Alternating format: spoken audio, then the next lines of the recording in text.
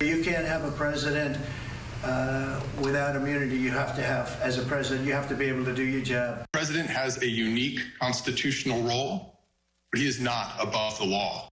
Former President Donald Trump voluntarily appeared in a D.C. courthouse today. An appeals court heard arguments about whether he should be immune from prosecution over allegations that he conspired to overturn the 2020 election. The Republican primary frontrunner argues he cannot be prosecuted for actions taken while in office. Special counsel Jack Smith rejects that claim as baseless, saying presidential immunity would allow a future president to commit crimes with impunity. Up close here at 4 o'clock, Skyler Henry joins us live from Washington. Skyler, thanks for joining us. Uh, first off, if you would, go into a little bit more detail about President Trump's argument. Yeah.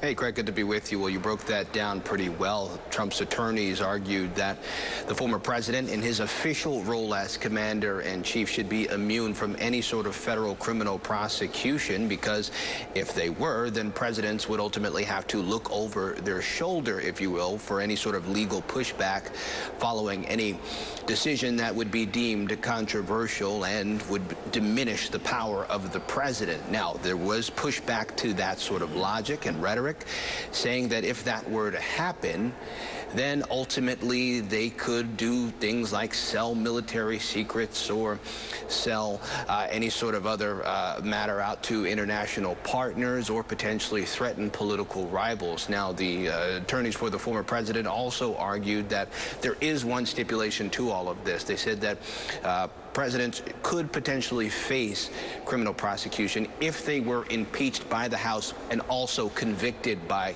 the Senate. We know that the former president, of course, was acquitted in both of the instances where he was impeached, but as it relates to his alleged involvement uh, surrounding the events leading up to January 6th, of course, he was acquitted in uh, that case. But this all matters because this would absolutely set precedent depending on how this court decides to move forward. We know that there is a looming uh, March 4th uh, trial start date that the special counsel Jack Smith wants to move forward with. And if the court decides either way uh, for uh, either side, then that certainly sets up grounds for an appeals process. Well, Skyler, as you mentioned, the court really does not have a lot of time to issue a ruling on this matter, do they? Yeah. No, they don't. Uh, as I pointed out, uh, we know that March 4th is the intended start date for this trial. That's what Jack Smith wants. He is the special counsel in this case. Now, as they or if they come out with a ruling in that time, then of course they will try to appeal this all the way up until the Supreme Court.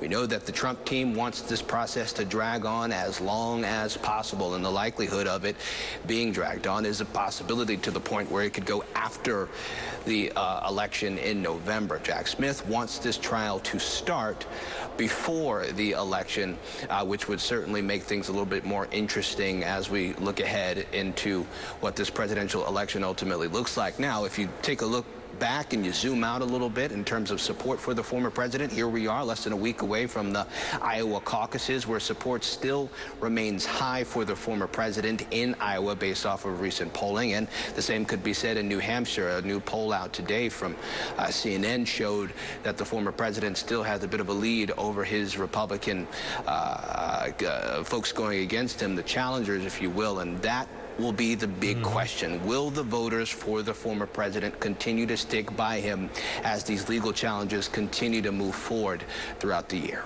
Well, Skyler Henry, we appreciate you being here. It's going to be an interesting campaign season, that's for sure. Thanks for joining us.